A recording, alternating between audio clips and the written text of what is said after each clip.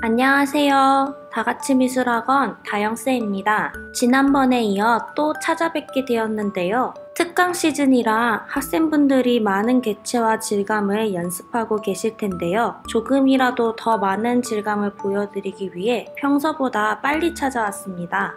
그렇기 때문에 오늘은 설명 없이 빠르게 진행되는 영상을 준비해 왔는데요. 색깔이나 붓질보다는 명도 대비나 질감을 위주로 봐주시면 좋을 것 같아요. 오늘의 질감은 바로 도금된 유리 장식품인데요. 흔하지 않는 질감인데다 두 가지 질감을 한꺼번에 볼 수 있어서 이 개체를 선택하게 되었습니다. 그럼 우리 같이 시작해 볼까요? 이번 개체에는 유리에 도금이 되어 있는 장식품이라 유리 질감과 금속 질감이 같이 들어있어요. 먼저 유리와 금속의 공통점인 선명한 화이트부터 그려줍니다. 빼먹지 말고 하나하나 차근차근 찾아주세요.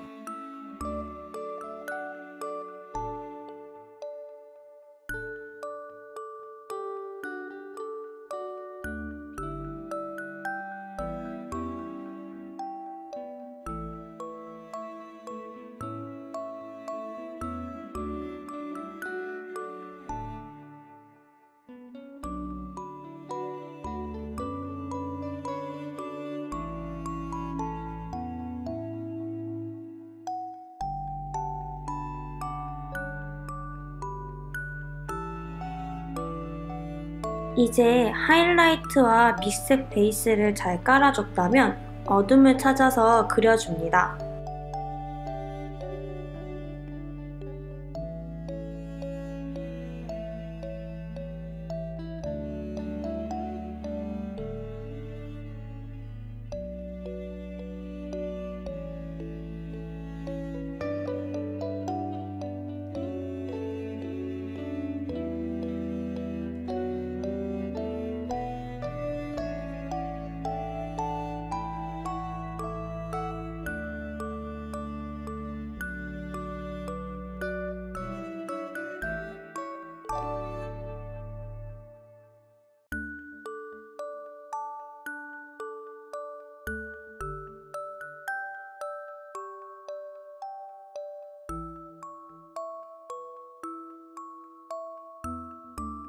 이 두 질감의 가장 큰 차이점은 금속은 하이라이트 주변에 어둡게 어둠이 잡히고 반사광을 많이 받는 반면에 유리는 하이라이트는 선명하게 보이지만 어둠이 많이 안 잡힙니다.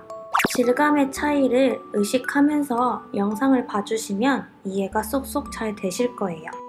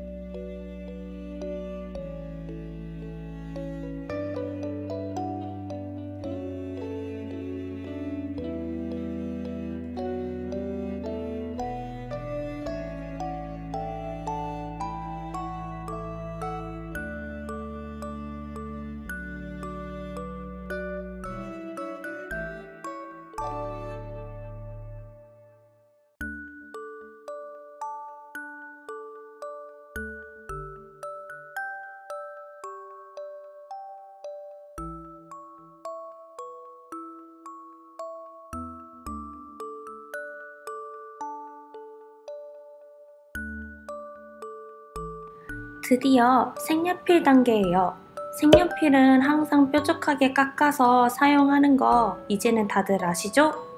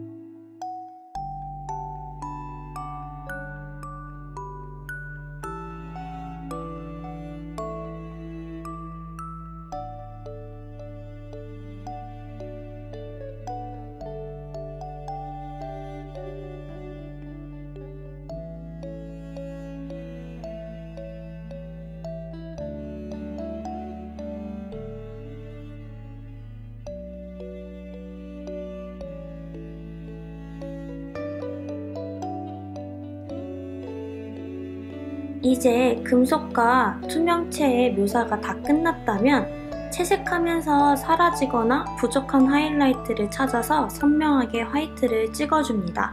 반짝반짝 이쁘게 빠짐없이 찾아주세요.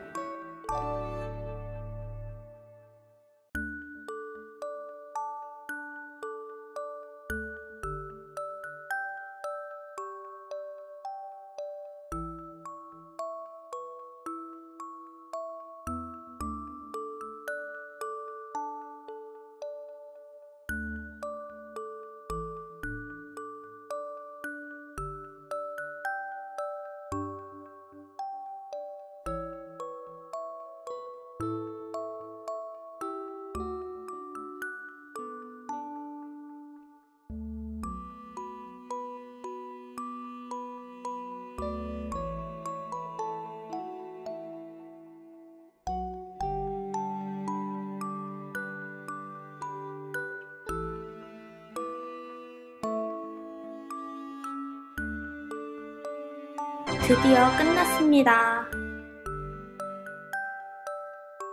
귀여운 코뿔소가 완성되었어요. 여러분 잘 따라와 주셨나요? 힘든 시즌인 만큼 이렇게 귀엽고 사랑스러운 개체들로 힐링을 하면서 그림을 그려보면 어떨까요? 다음 시간에도 여러분이 즐거워할 만한 개체를 찾아서 예쁜 그림을 그려보도록 하겠습니다. 그럼 여러분 건강 잘 챙기시고 다음 시간에 만나요. 안녕.